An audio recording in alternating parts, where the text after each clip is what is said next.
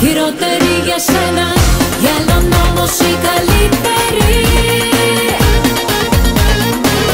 Για τις αδύνατες